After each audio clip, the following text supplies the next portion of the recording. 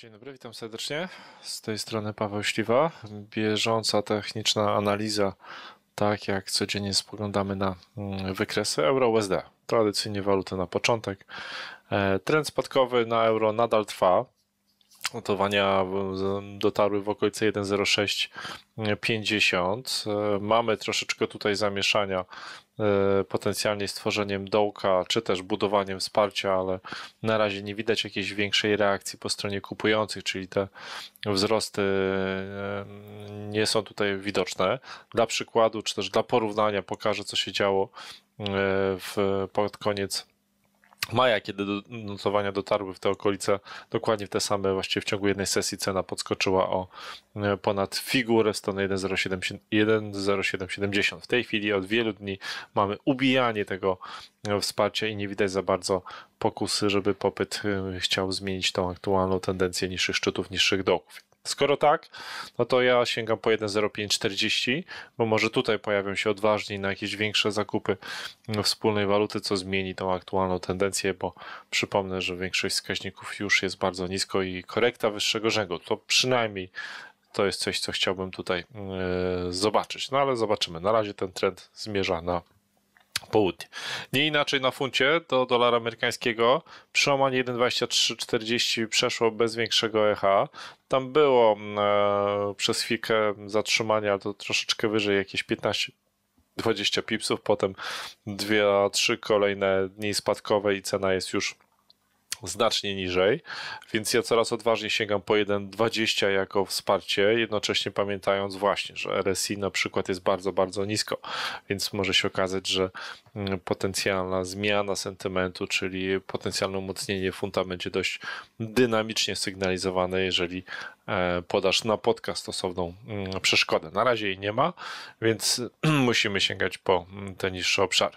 O 1,2340 nie zapominam, bo to jest poziom, który jeszcze może nam się przydać. E, NZD USD mm, cały czas fluktuje wokół 0,5930. Tu się nic nie zmieniło więc pozostajemy w konwencji takiego rozszerzającego się trójkąta, czy też jakiegoś rodzaju mm, konsolidacji, e, właśnie mm, falującej wokół jednej e, ceny. No i te obszary, które w jakiś sposób można byłoby tutaj przywołać, to o, do, o dołkach dość łatwo no można wskazać 0,58, 50 przy szczytach. Już tak łatwo nie jest, bo ta strefa jest rozrzucona przynajmniej na przestrzeni 30 pipsów, może 20 to jest z górnym pewnym ograniczeniu w okolicach 0,60, ale trzeba też pamiętać o takich wartościach, czy jak ostatnie szczyty 0,5980. Dolar australijski, tutaj ta figura ma trochę bardziej regularny kształt, bo to jest klasyczny prostokąt. W literaturze analizy technicznej to może być kształt oczywiście ruchu korekcyjnego, bardzo mocno rozbudowanego w, czasu, w czasie, mieszczącego się w przedziale 0,6380, 0,65, mniej więcej 20. E, no i dopóki cena nie wyjdzie z e, któregoś z tych, nie pokona któregoś z tych ograniczeń, no to ten impas będzie trwał. No, jeżeli jest to korekta, to oczywiście powinno, by, powinna być dalej przecena dolara australijskiego. Na razie tego nie widać. Końcówka zeszłego tygodnia to jest odbicie od e, wspomnianego przeze mnie już spacia 0,6380. Ja to przeciągnę sobie w prawo a tym samym też no, czekamy, czy notowania będą zmierzały w stronę górnego e, ograniczenia. E, z rzeczy, które dzisiaj jeszcze analizowałem, to jest m.in. USD do korony szwedzkiej. Trend wzrostowy ewidentnie, tak? Aczkolwiek są tutaj trzy obszary, które ja zaznaczyłem na żółto. E, kluczowy jest ich początek, bo to są miejsca, gdzie rozpoczęły się znaczne tąpnięcia wartości dolara. Patrząc od góry to jest 11,50, potem 11,24 i ostatni, ten najbliższy pod względem czasu to jest z kolei 10, mniej więcej 99.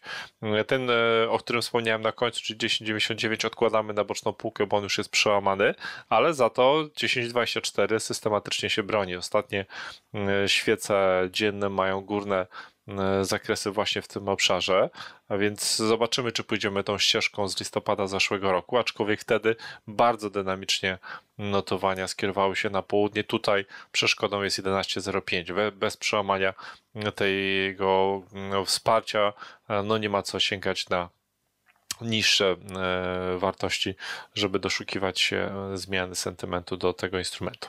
W przypadku korony norweskiej, ja już jakiś czas temu rysowałem potencjalną formację głowy z, ramiona, z ramionami na wykresie tygodniowym. Tam ją dość dobrze widać. E, z kolei na wykresie dziennym na razie to prawe ramię cały czas ma szansę się rozbudować po wsparciu 1068 nie zostało pokonane.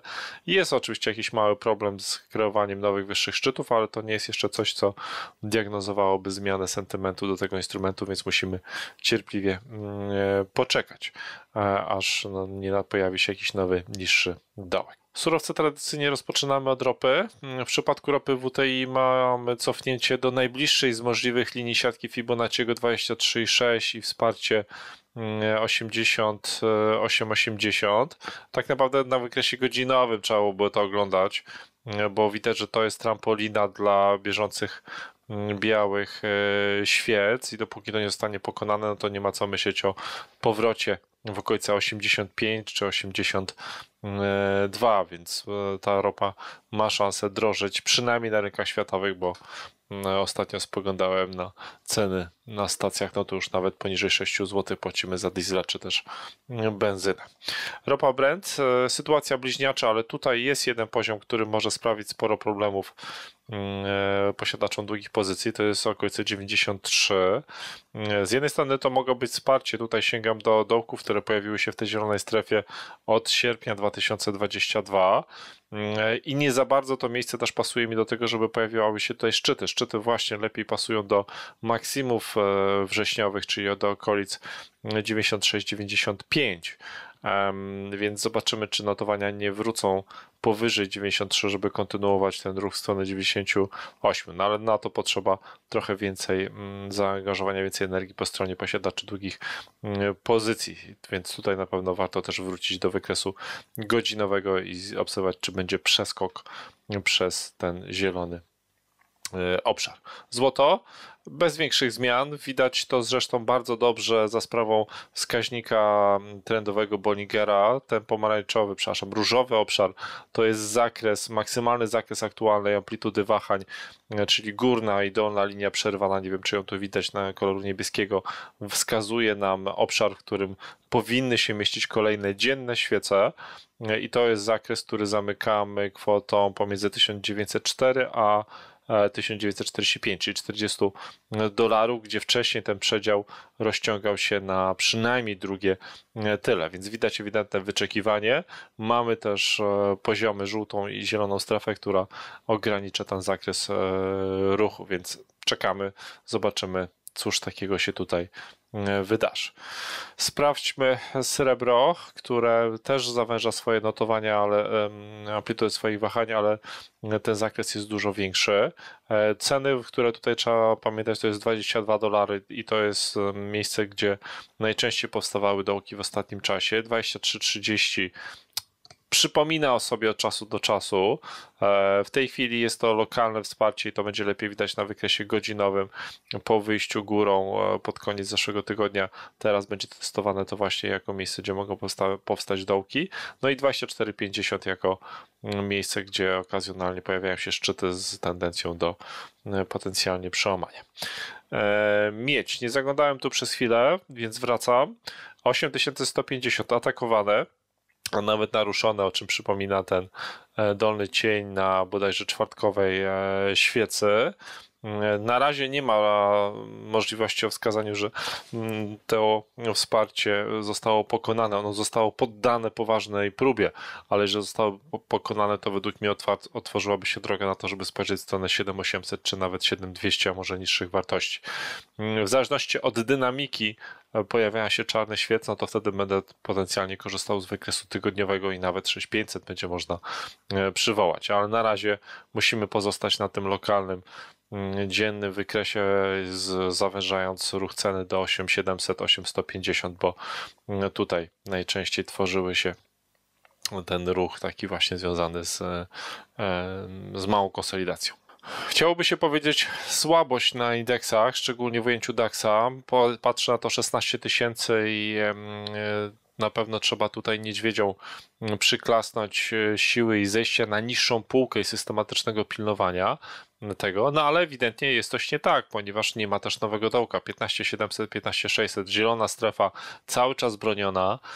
W piątek mieliśmy specyficzny kształt świecy, troszeczkę podobnej do świecy Doji, korpus e, malutki, cień duży, górny, więc jeżeli dzisiaj pojawiłaby się biała świeca o pokaźnych rozmiarach, no to można byłoby mówić o formacji odwrócenia postaci gwiazdy porannej. Mm, e, i wtedy rzeczywiście znowu stronę 16 tysięcy trzeba będzie spoglądać. No, przełamania nie ma. Nawet mocnego naruszenia tak, takiego, jako, jakie pojawiło się na przykład 18 mm, sierpnia, wtedy cień zszedł poniżej 15600. Tutaj nie, ewidentne wyhamowanie, więc może się okazać, że mm, co z tego, że podaż pilnuje 16 tysięcy, skoro nie jest w stanie przełamać wsparcia 15600, więc mamy taki impas 400-punktowy i on już trwa dość długo. Mm, myślę, że powoli będzie można to też obserwować na wykresie tygodniowym.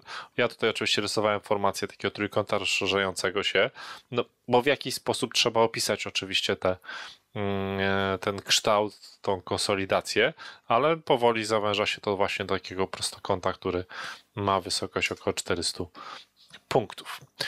Nasdaq. Mm, e, mój RGR powoli nabiera coraz większego znaczenia, ponieważ pojawiła się seria czarnych świec w zeszłym tygodniu. 15200 w tej chwili już jako opór. Najbliższe wsparcie 14580. Mm, tutaj też mniej więcej można byłoby doszukać się takiej przyspieszonej linii trendu o dość słabych punktach zaczepienia, o ile oczywiście pierwszy kluczowy jest najważniejszy, ale ten drugi, mimo że jest tutaj dość ważne, to, to zwracam uwagę, że kolejne dołki są już, które tutaj rysuję w tym pomarańczowym, tym różowym e, obszarze, są już dużo mm, wyżej, więc e, ewidentnie ta czerwona linia niezbyt dokładnie opisuje zachowanie ceny w ostatnim czasie, ale mimo wszystko zostawiamy ją, szczególnie, że ona mm, mniej więcej pokrywa się z bieżącymi e, wartościami. Ja nie mogę tej linii przesunąć na przykład na dołek z 18 mm, sierpnia z prostej przyczyny, po nim nie było nowego szczytu, tak, czyli cena zatrzymała się przed przełamaniem 16 mm, tysięcy punktów, więc nie mam podstawy, żeby zmienić, zresztą wtedy też naruszyłbym e, w sposób znacząco dołek, który pojawił się jako drugi punkt zaczepienia, czyli ten e, marcowy. E, no, są pewne zasady, trzeba ich przestrzegać. Jeżeli chodzi o analizę techniczną, to trochę, mm, żeby nie powiedzieć, że znacząco nawet ułatwia życie, jeżeli chodzi o pewną interpretację takich kluczowych mm, momentów. W przypadku Don Jonesa, no linia mm, poprowadzona po ostatnich dołkach, przynajmniej 3-4 punkty zaczepienia w tej chwili przełamana, ale dla mnie kluczowe wsparcie to jest 34 100 i mm, tutaj będę kierował swój wzrok, ten pomarańczowy obszar to jest miejsce, które było ewidentnie taką klasyczną trampoliną wypychającą wartość 30 spółek amerykańskich do góry. Z tym trochę ostatnio słabiej, bo e, te wzrosty zatrzymywały się na żółtym oporze 35200, więc pomarańcz i żółty kolor to są te najbliższe ograniczenia. Jeżeli podaż będzie spychać dalej cenę na południe, no to będziemy sięgali po 33-33 200. To jest zielone najbliższe wsparcie. E, US30, mm, no przełamane czy nie? 4400. Patrząc w wartościach bezwzględnych, bieżąca cena 4374, więc tak, jesteśmy poniżej, no ale może się okazać, że tak jak to miało miejsce e, w okolicach 22 sierpnia będzie naruszenie i powrót 108 4550, więc no nie jest to łatwo analizować e, wykres z tej perspektywy. To, co jest w miarę łatwo, no to stwierdzić, że opór 4550 spełnił swoją rolę i w przeszłości spychał cenę w stronę 4200, więc może się okazać, że tym razem ta próba przełamania tego niebieskiego lokalnego spacia się mm, udała e, i kolejne czarne świece gdzieś tutaj się będą pojawiały. O tym przekonamy się pewnie w popołudniu, kiedy wejdzie klasyczna sesja amerykańska, a wtedy zobaczymy, jakie jest nastawienie inwestorów z tamtej części świata. Tak? Czy będzie dzisiaj też kolor mm, czarny i podaż zdominuje ten mm, parkiet. E, spójrzmy sobie jeszcze na rynek brytyjski, e, który mm, no, po pierwsze, nie robi nowego szczytu. Z dołkami też słabo, czyli 7200 jako wsparcie mm, zostaje. Ja mam dużo spadkowych strzałek w okolicach 7600, ale w zeszłym tygodniu cena pokonała tą barierę, ale ja sobie zostawię tą strefę, bo jak Państwo widzicie w przeszłości to działało, a nawet tej bliskiej, bo mówimy o miesiącu lipcu, więc jeżeli cena na wykresie tygodniowym spada poniżej, no to znowu sięgamy w tamtą mm, stronę. E, nie jestem pewien, czy warto sięgać po niższe interwały niż e, tygodniowe, ponieważ zmienność e, została dość mocno tutaj zawężona. Mm, no, może się troszeczkę zadzieć więcej za sprawą wyjścia powyżej 7600, ale do tego potrzebujemy ataku na 7900 i robienie nowych szczytów. Jestem ciekaw, czy stać na to byki, uwzględniając ten Mm, słabszy sentyment na rynkach amerykańskich w zeszłym tygodniu. Poczekamy, zobaczymy, może coś się pozmieniało i ten rynek europejski tutaj jest bardziej mm, przejrzysty i klarowniejszy dla posiadaczy e, długich pozycji. E, z mojej strony to tyle. Ja serdecznie dziękuję. Zapraszam Państwa oczywiście mm, w dniu jutrzejszym będzie kolejne nagranie i będziemy dalej analizowali, co się pozmieniało w ciągu jednego dnia.